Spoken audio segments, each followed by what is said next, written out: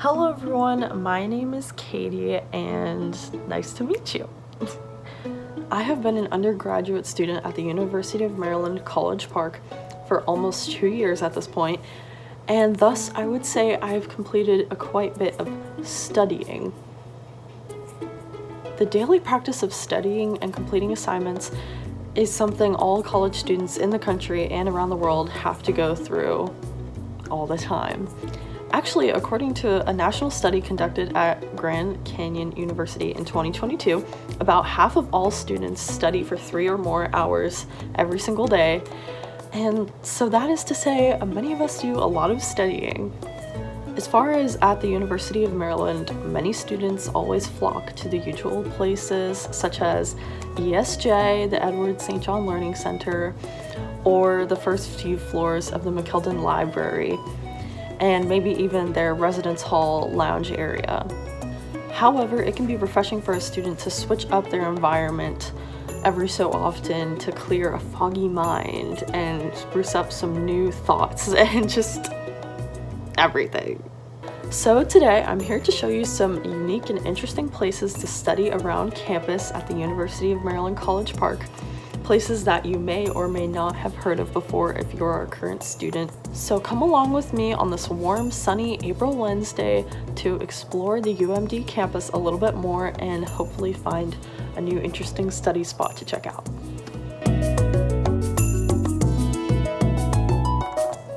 The first stop of the day is going to be the Michelle Smith Performing Arts Library located in the Clarice Performing Arts Center near North Campus. This building is home to performing arts majors. The library is usually a quiet and peaceful place with lots of different places to choose from to sit. The high ceilings in the main atrium offer a nice open space, which I've heard encourages brainstorming and creation. Ooh! We are now headed on our way from the Clarice Performing Arts Center onto H.J. Patterson Hall. H.J. Patterson Hall houses the International Services Office as well as the Education Abroad Office. The lobby is just a smaller, calming area in my opinion that has some nice natural lighting and couches as well as chairs. Just a short walk away from H.J. Patterson is the McKeldin Library. Now don't get confused because I know this is a very popular place to study on campus, I just wanted to bring attention to this specific room on the fourth floor called the reading room. If you like big wooden tables with a lighting and nice wall art, then this is the place for you. The room is usually quiet and offers these nice large tables with quaint lighting on them and on the ceiling. The wall art surrounding the walls highlights points in UMD's history. I find it interesting to look over at the pieces or the tall windows when I need a momentary break from my screen.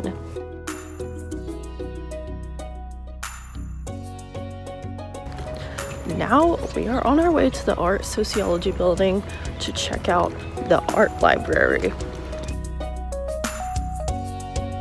Fun fact, today was actually the first day of the farmer's market during the semester, which is housed right in front of Tawes Hall on Wednesdays.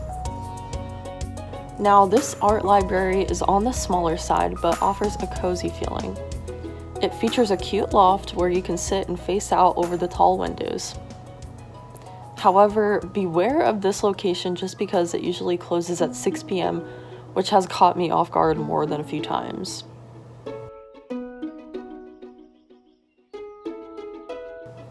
Last but certainly not least, we are now on our way to the final study spot, the Idea Factory.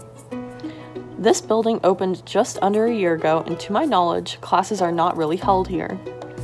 Therefore, many students may not be aware of what it has to offer. There is a cute space to study outside here. Heading inside, there is a great space for hanging out, sharing a meal, or working right outside of the Idea Central Cafe. I have spent countless hours sitting here studying for exams with a nice iced coffee.